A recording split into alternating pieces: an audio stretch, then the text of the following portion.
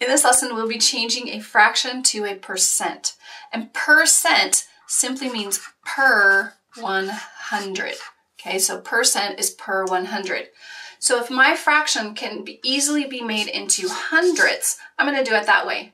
I know I can get from 5 to 100 relatively easy, easily by multiplying it by 20.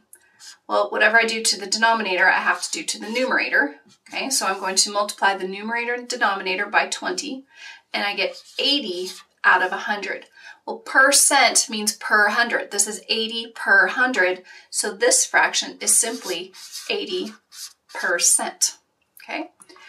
If I look at 14 over 17, I can't really get from 17 to 100 easily. So I'm going to do it a different way. I'm going to do the division. This fraction bar means to divide. So this means 14 divided by 17. And when you do that, you get a fraction that is, a, I'm sorry, a decimal that is approximately equal to 0 and 823 hundredths.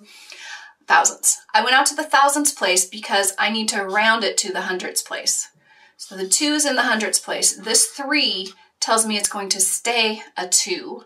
So this is approximately 0 and 82 hundredths. We read that as hundredths. So it's 82 per hundred. Okay, so 82 hundredths is equal to approximate, sorry, 14 17ths is approximately 82 hundredths, which is approximately 82%. Both of our numbers came out to be about 80%. And that's the end of our lesson on changing a fraction to a percent.